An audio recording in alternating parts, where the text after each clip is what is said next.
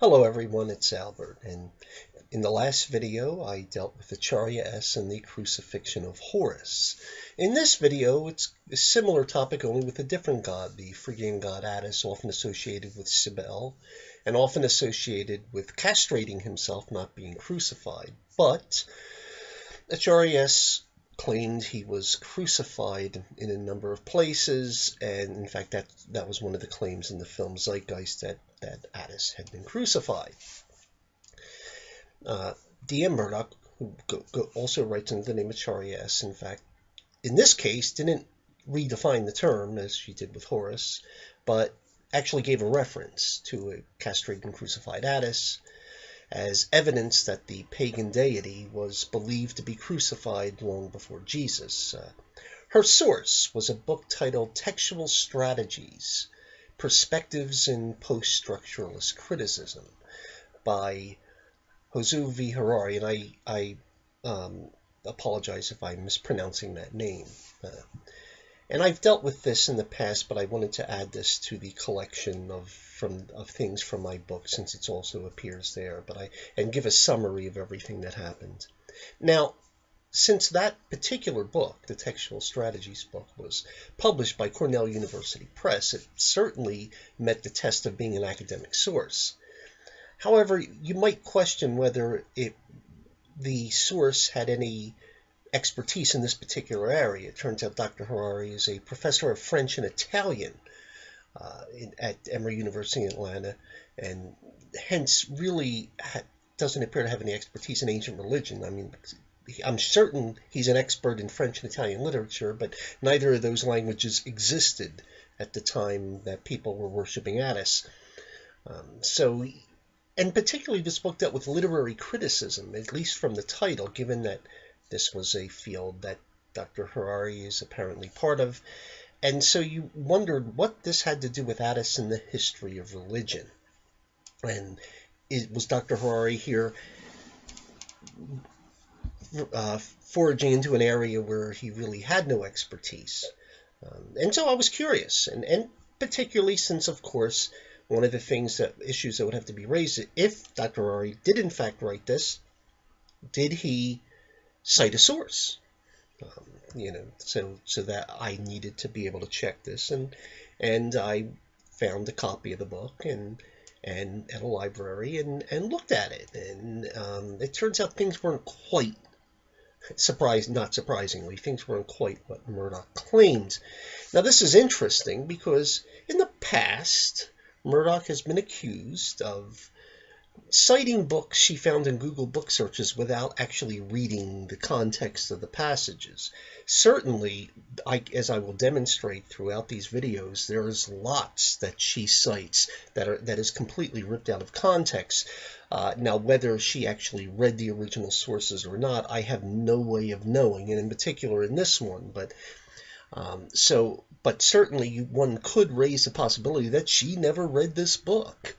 Uh, one could also raise the possibility that she didn't understand what was going on here. Um, that and that, but of course, I, in either case, that that doesn't sit, bode well for her status as someone to investigate these matters and, and for the level of her scholarship in, in any case. So um, either way, it's it's fairly damning. So I, I so that it doesn't really matter in that case whether she actually read the book or not, since you know, it, but it's hard to believe once you read what's going on that anyone would read that and use it as evidence of Attis being crucified, as we shall see.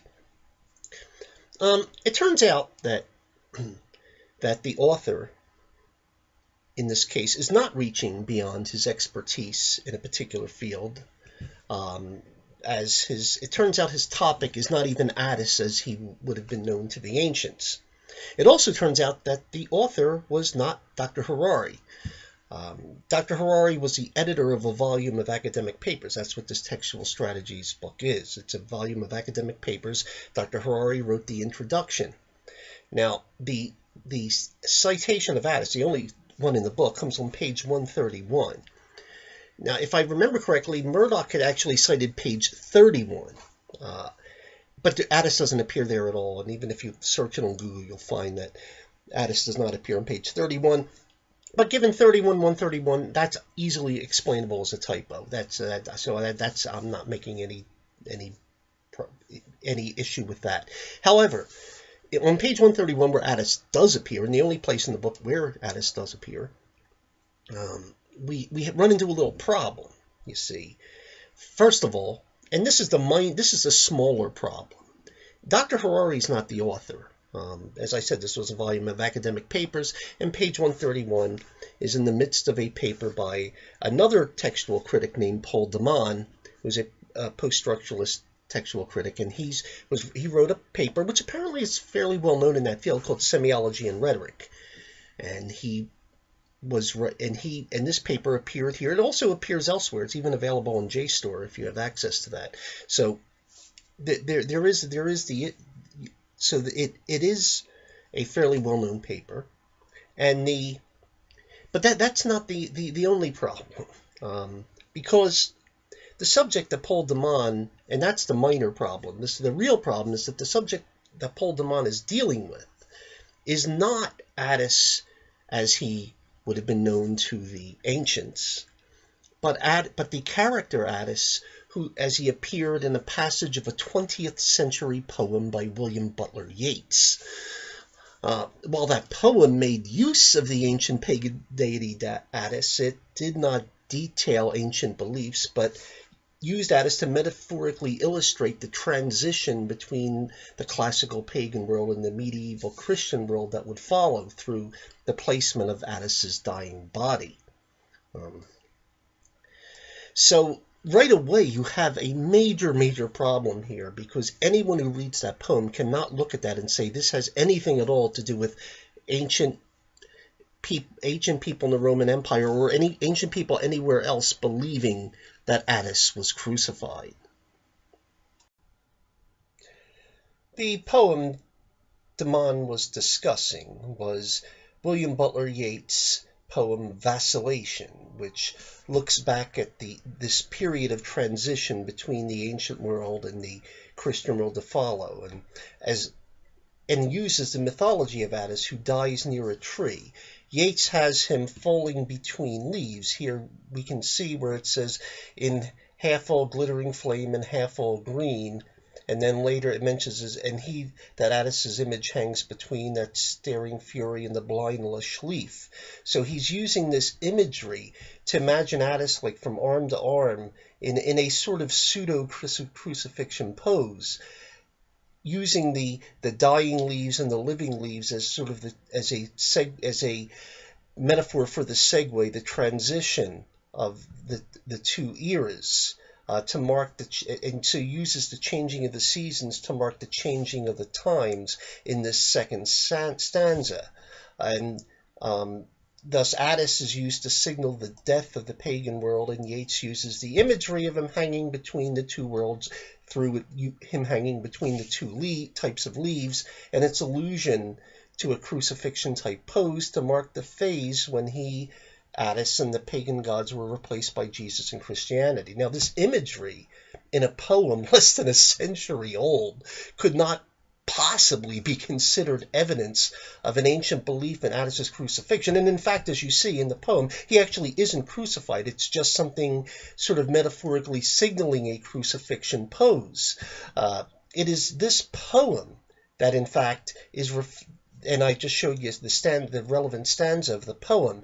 But if we go to de Man's article, it is this poem by De, and by Yeats and not some ancient pagan parallel that de Man is referring to.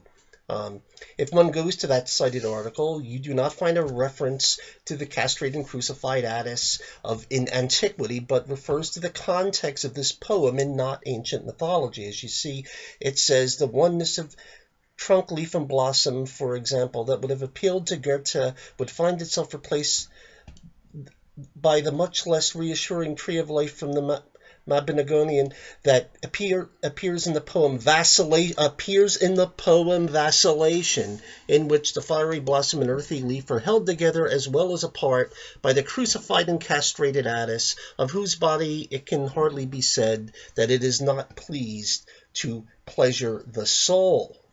Thus, the citation is not dealing with Attis as given in ancient mythology at all, but rather Attis is given in a 20th century poem by William Butler Yeats. Even the poem does not have a literal crucifixion, but as I said, uses imagery as a transition segue between the pagan and Christian eras. Thus, Murdock's attempt at conjuring evidence for an ancient belief in Attis's crucifixion is quite laughable, and it indicates that perhaps she never really read the book she cited. Uh, and that brings us sort of, you know, it, it almost becomes a joke, you know, where you did you hear the one about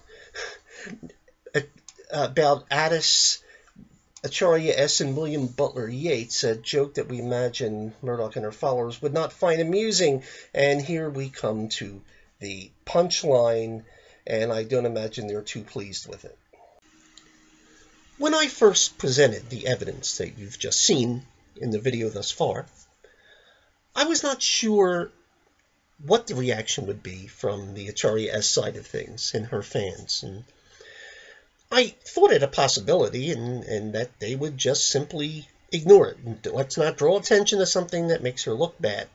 Um, and that's kind of what I expected. I, I also thought that maybe someone would try to make some sort of excuse that, you know, it was an honest mistake or something. But you see, it was, it, to me, this was really quite damning evidence. Um, because odds are, when you look at that passage and you look at how she's using it, um, and then you go to the Google book search for it. And remember, she's in the past has been accused of basically using Google book search as a research, uh, that she gets helpful quotes out of the Google book searches, but didn't necessarily read the book. She has been accused of that in the past, and and she's denied all of these accusations, but if you look at this particular book and look up the quote, if you search for Attis in the book, it ends up only in snippet form, so you can only see just the few words around this quote and not the entire context of the passage. So it does make you wonder if she ever actually saw it. But let's let's say give the benefit of the doubt, say she did read it. That's even worse. Because that means either she is so incapable of proper research that she can't understand the words in front of her, or that she didn't care about the truth and was just presenting this stuff in the hopes that so, nobody would catch her. And, and she, she knew that it had it was irrelevant to the state of religion in antiquity and that it had to do with a modern poem, but didn't care. I don't. I, am not going to answer that question. I really, I, I, you know, my initial reaction was that, frankly, she got it out of a Google book search. That's you know that that's the first thing that comes to mind. But I, I you know, because I'm trying to assume that she has a degree, so I don't, and, and she, in fact, her degree was in classics, if I remember correctly. So I can't imagine she wouldn't understand what I showed you if she read the passage. And I'm trying to assume the best that maybe she didn't, that she wouldn't be completely dishonest about what was on that page. Um, so it, it's not not looking really good for her side, uh, which is one of the reasons I thought probably no one would even react to it um, from her side of things, and that maybe that particular citation would just quietly go away from her material. Um, although I would, of course, raise the issue now and then for fun, but I, just can't imagine that someone would have actually said that that's not really on that page um, what you said is, is not true. Because to do that, they would, of course, have to get the book. Once they got the book and opened the page up, they would realize I, it was true. Um, and then, what, what did they do then? Um, they, they, but in fact, someone did exactly that. Someone tried to deny everything I said, said I was completely wrong, I lied about everything, that, that this was all, all dishonest, and and so what it what I ended up having to do eventually is, and I'll and I'll be showing you this on, in this video too, but the earlier video is still up, and I'm going to leave them up since other people have linked to them. Is that I made a second video in which I literally I got the book again, literally held the page up to the video camera and read it. I mean, so everyone could see what I was reading, could see the page I was on, could see that I was, you know, everything. And I don't know what at that point. Since then, I haven't gotten a response, but uh, uh, any other responses. But but I I thought that that was very telling. Um, that her fans, her their reaction is simply to deny everything, to just lie, even though they don't know the truth. They haven't really looked at the book themselves, but simply make accusations against everyone else without ever examining the evidence. I mean that I mean, come to think think of it this way. Dia Murdock presented evidence saying that Attis was crucified. I went out and found her evidence and I looked at it and I said, no, it doesn't say that, and I gave my evidence that she was wrong. One would think that the correct response would be then to check my evidence to see if I'm correct. But instead, what they do is simply say I'm wrong without ever checking anything. And that's sort of the indication of the level of the level of interaction you will get with her fans, and that should indicate something. And I'm going to go into that now.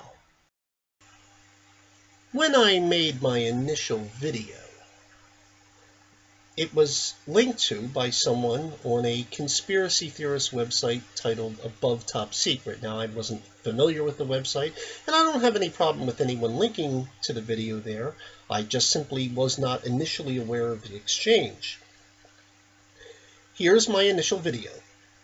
And what ended up happening then is it set off a discussion on the validity of the claims in the film Zeitgeist and also of the validity of the claims made in general by Dia Murdock slash Acharya S.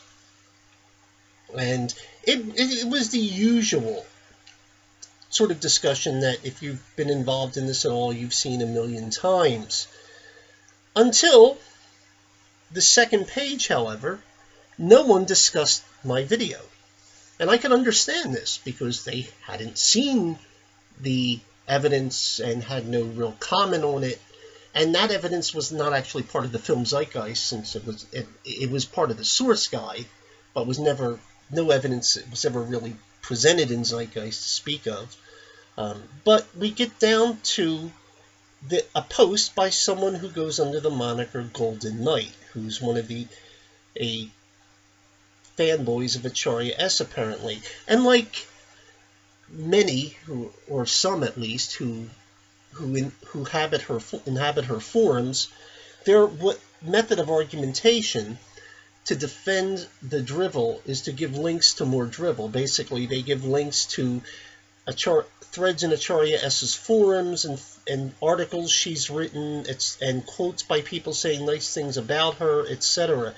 Uh, nothing that really says much about the evidence presented against her claims or the the examinations of the evidence that she's given, particularly in, in this case, the evidence that I had presented in that video. And remember the video linked to a blog post where, and that blog post had everything out in the open. It, it, it listed all of the, it gave all the quotes mentioned. Uh, they could certainly read them for themselves. And if, if they had any doubt, they could certainly find the book look at it and they'd see I was right. And there was really no doubt about any of it. Um, and, and I couldn't imagine anyone would argue with it eh, for, at that level, but this person did.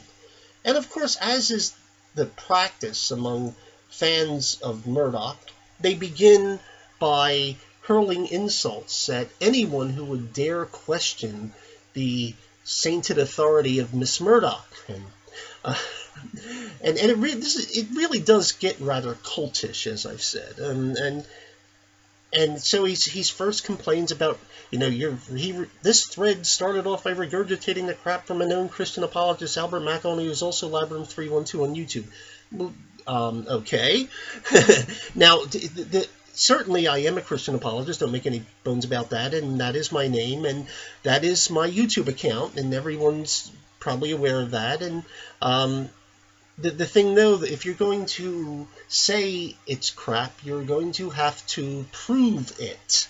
Uh, which of course he will never do in this article. He says nobody cares about his opinions except other fundy Christians. So I guess he considers me a fundy Christian, a rather odd label for an Anglican, but I suppose in his world, any believing Christian is a fundy Christian uh, who are too lazy to actually look things up for themselves, let alone actually study the subject. So I suppose then this person, Golden Knight, actually looked things up for themselves. They went to the book and saw what I said, saw if it was true or not, and so they're going to give the counter evidence, right?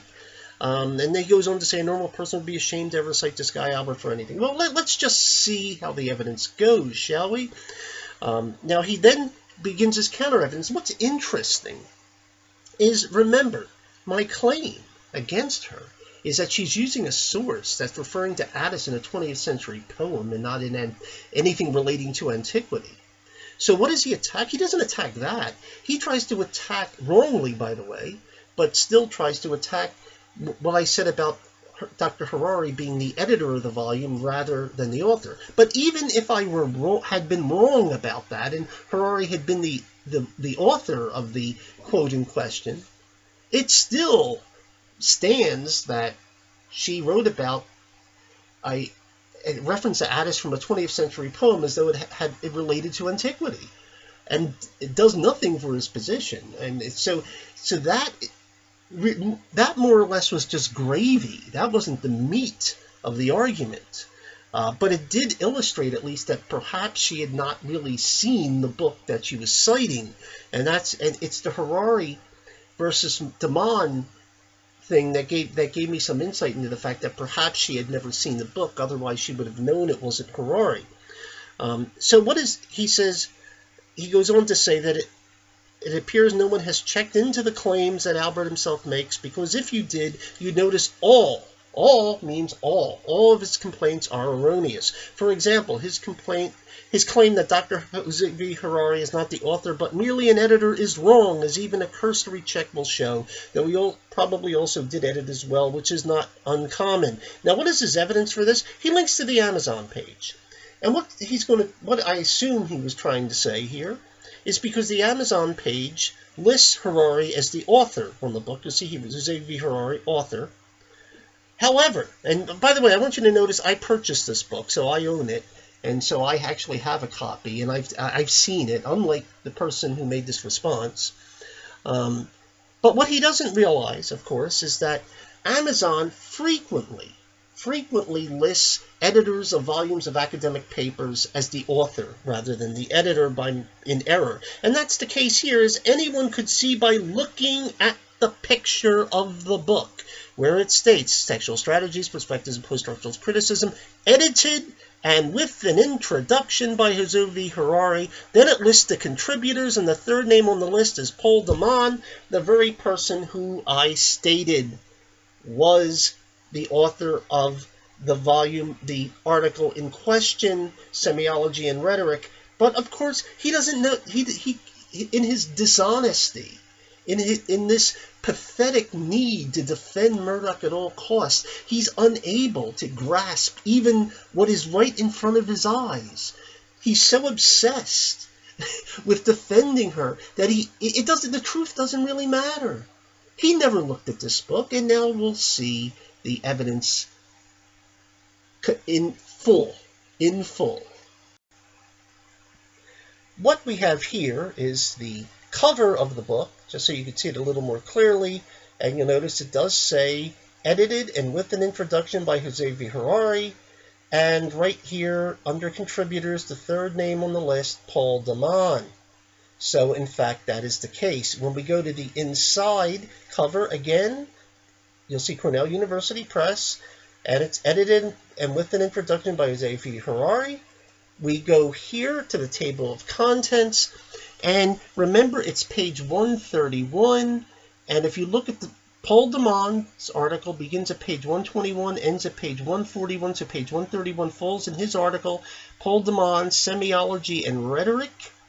And in fact, if we go to page 131, You'll notice it says Paul de Man, Semiology and Rhetoric on the top of the page. And if you go down, the one, this is what I quoted. The oneness of trunk, leaf, and blossom, for example, that would have appealed to Goethe, would and and etc. etc. And if you go down, you'll see where it talks about the crucified and castrated god Attis, etc. In the poem, right here, you'll see vacillation. In the poem, vacillation. So it, in fact, it is about Attis as he appears in a 20th century poem titled Vacillation by William Butler Yeats. It has absolutely nothing to do with Attis or any beliefs about Attis in antiquity. And this, of course, knowing that it's here, you'll see de Man right at the of the, page, top of the page. It makes you wonder, given all of this, if she ever, in fact, read the book. Thus, we have the spectacle here of, of not only Murdock initially making this tremendous blunder that's just uh, so blatantly obvious, but, but her fan trying to respond to this goes off making wild accusations without ever, ever looking at anything I, I, I had presented, never looked at the book. His, is he didn't even tackle the question of, of the the poem and that vacillation and the reference in de Man's article, he tried to attack the fact that I said Harari was the editor of the book, but uh, and judged it by an Amazon listing. Didn't even look at the picture of the book on the very page to whose link he supplied. He didn't. It was right there in front of him. He didn't even see it. Well, I guess you could say he didn't judge a book by its cover, but he didn't judge it by its interior either. He didn't judge it by anything. He just made things up. Um, and and then makes all these accusations that everything I said was erroneous, but never checked anything that I said. Um, and and just to add to this, add to it the spectacle, he had the audacity to complain that it was Christians who were too lazy to actually look things up for themselves, without ever once looking things up for himself. After I made my response in another video, um, and held, as I mentioned, held the book up in my hand and read from it, uh, demonstrating Harari was editor and not the author, and went to the page and read everything I said and held it up to the camera. He chose not to comment on that thread again. Um, I, I suppose some lessons are only learned through experience. Uh, and on that note, in all things may to God be all the glory. And until next time, God bless.